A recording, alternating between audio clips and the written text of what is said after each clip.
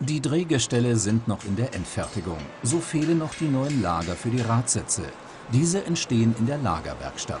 Es ist eine Weißmetalllegierung aus Antimon, Blei und Zinn. Durch die gute Verteilung des Ölfilms ist diese Legierung besonders gut als Lagerwerkstoff geeignet. Das ist ein Über.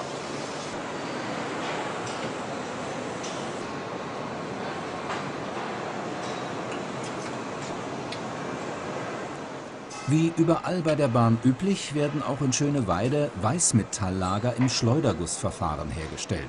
Das flüssige Weißmetall wird in die Lagerform gegossen und per Drehung an die richtigen Stellen gebracht.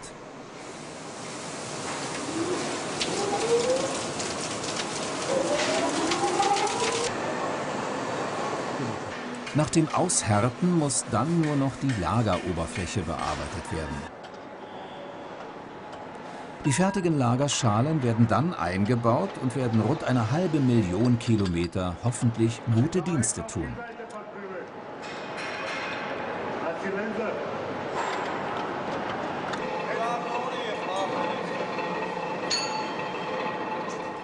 Mit dem Einbau der Bremsbauteile und der Fahrmotore sind die Drehgestelle dann wieder komplett.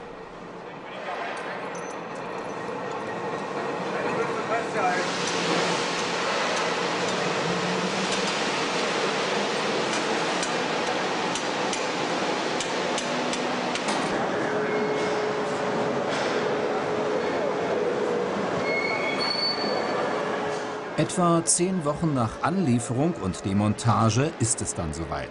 Der Wagenkasten wird wieder auf die Drehgestelle gesetzt. Das Prozedere ist in Schöneweide fast an der Tagesordnung. Umso routinierter verlaufen die Arbeiten.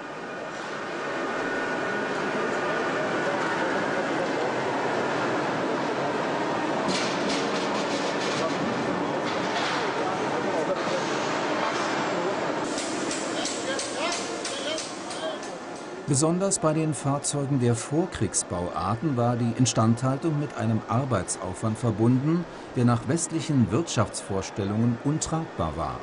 Nicht umsonst wurde Ende 2003 mit der Baureihe 477 die letzte Vorkriegsserie ausgemustert.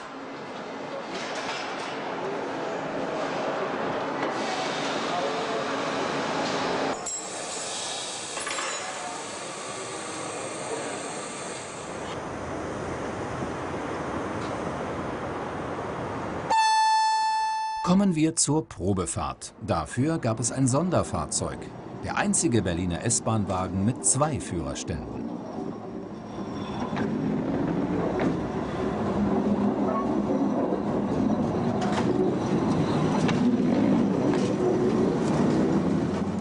Der sogenannte Jumbo entstand aus einem Triebwagen der Bauart Oranienburg aus dem Jahre 1925.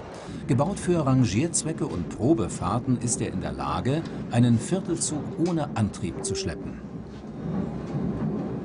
Die Inneneinrichtung wurde komplett ausgebaut. Sie musste den Antriebsteilen weichen, die früher im zweiten Wagen untergebracht waren.